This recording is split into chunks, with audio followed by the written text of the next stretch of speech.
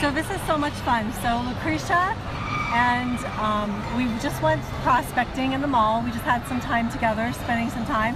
And so Lucretia, you had an epiphany. So tell us what you learned today. Building relationship is key. Key to having more customers, but most importantly, building a team. That's awesome. And who did we just meet? We met Itzel,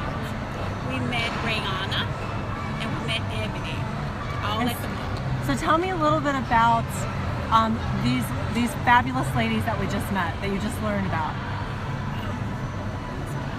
So let's talk about Itzel. So what did we learn about Itzel? Okay. Itzel, she's very friendly, um, very approachable. And we and we actually, what else did we do?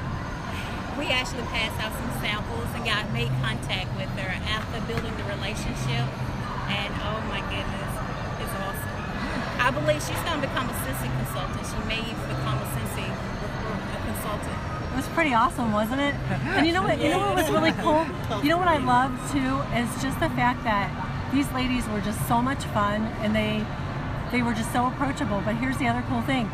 One thing that we did that um, made it even more special is Itzel was just so amazing that we actually went and went down to another store where her boss worked and told her boss how fabulous Itzel was and what a great employee she had in her. So. Yes. And that was really nice. It was fun to do that for Itzel because she was so cool. And it was.